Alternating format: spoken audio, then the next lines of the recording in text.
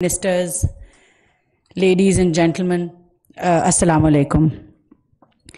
मैं uh, मुख्तसरन सिर्फ़ uh, इस प्रोग्राम में आप सबको सबसे पहले वेलकम करती हूँ और वज़ी अजम पाकिस्तान शहबाज शरीफ साहब का शुक्रिया अदा करती हूँ जिन्होंने अपने विजन के तहत जो इनके स्पेशल इनिशिएटिव्स थे जो पीएम कि अपने प्राइम मिनिस्टर के स्पेशल इनिशिएटिव्स थे, उसमें से खसूस ख़वातीन के लिए एक इनिशिएटिव तैयार किया, जिसके लिए बाकायदा, जैसे कि आप देख रहे हैं कि पाँच अरब रुपए का बजट रखा गया और इस बजट के तहत मुख्तलिफ़ इस तरह के प्रोग्राम्स का आगाज़ किया जाएगा, जो कि ख़वातीन के लिए तालीम के शोबे में कारोबार करना हो चाहे आप रोज़गार देख रहे हों जो ख़वातीन अगर हाई पोजीशंस पे आना चाहती हैं डायरेक्टर लेवल पे आना चाहती हैं, उनके लिए स्कॉलरशिप्स वज़ी अजम साहब ने सोचा कि ज़रूर होनी चाहिए ताकि हाईएस्ट लेवल पे ख़वातीन जो हैं हर जगह पे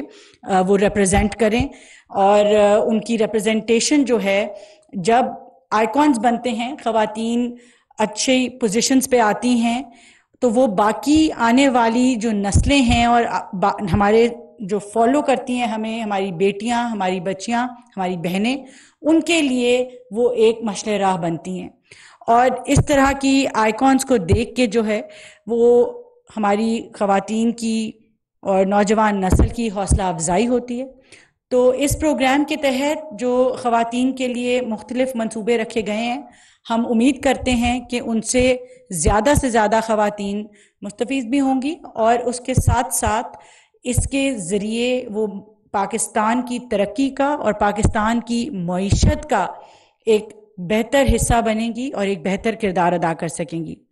पाकिस्तान की 50 से जायद फ़ीसद आबादी ख़वातीन की है और इस मुल्क में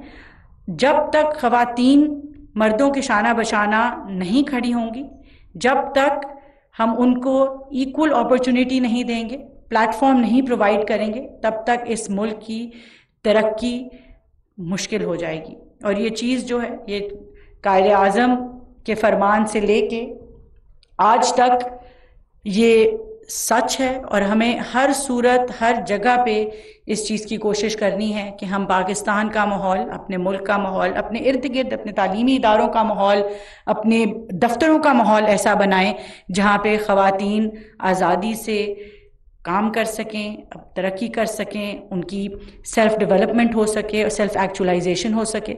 जहाँ तक हुकूमत पाकिस्तान का सवाल है, हमारी कोशिश ये है और वज़ी अजम पाकिस्तान शहबाज शरीफ साहब का विजन ये है और हमारे मिनिस्टर साहब यहाँ पे मौजूद हैं, रियाज पीरजादा साहब, जो मिनिस्टर फॉर ह्यूमन राइट्स हैं, जिनका आज ये इवेंट है। इन सब की मिल के एक ही काविश है कि हम ज़्यादा से ज़्यादा अपॉर्चुनिटीज़ प्रोवाइड कर सकें और जहाँ तक हो सकता है, हम आपको एक प्लेटफॉर्म प्रोवाइड करें रिसोर्सेज प्रोवाइड करें, ताकि हमारे मुल्क की खातन आगे बढ़ सकें और इस मुल्क की तरक्की का हिस्सा बन सकें। आप सबके आने का बहुत शुक्रिया और उम्मीद है कि आप आज का ये प्रोग्राम इन्जॉय करेंगे। Thank you